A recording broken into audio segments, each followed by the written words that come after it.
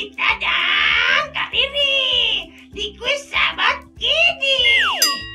Ih, hai hai adik-adik, udah tau dong kalau Kak Riri sama Cita minggu-minggu nih ada di depan adik-adik mau ngapain? Ngapain? Apa? Iya, kita mau kasih kuis nih tentang saat teduh satu minggu kemarin. Gimana? Masih ingat saat teduhnya kan? Ya udah, sekarang siapin aja buku catatannya karena kita mau dengerin nih pertanyaan kuis sahabat Kidi hari ini yang dibacakan oleh Cita. Cita, silahkan pertanyaannya. Ingat, ini dia pertanyaan kuis sahabat Kidi ke-29. Pertanyaan pertama, di renungan 19 Juli, setelah Musa meninggal, siapa yang dipercaya Tuhan kedua, sebutkan nas Alkitab dari kisah para rasul 2 ayat yang ke-45. Pertanyaan ketiga, di renungan 23 Juli, berapa jumlah orang kusta yang Tuhan Yesus sembuhkan?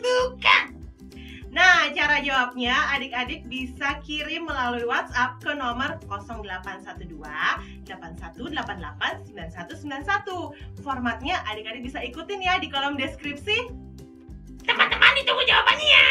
Hari ini aja. Dari jam 11 sampai jam 8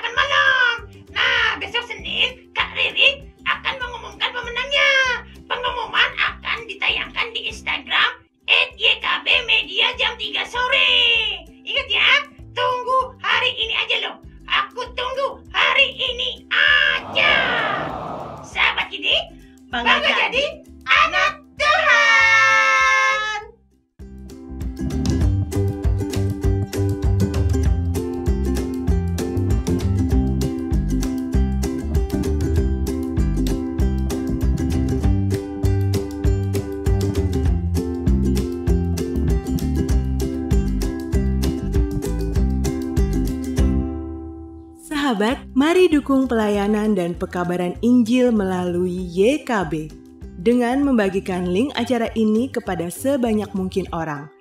Dukungan juga dapat saudara lakukan dengan mentransfer dukungan finansial ke rekening BCA ke nomor 450 305 2990 450 305 2990 atas nama Yayasan Komunikasi Bersama.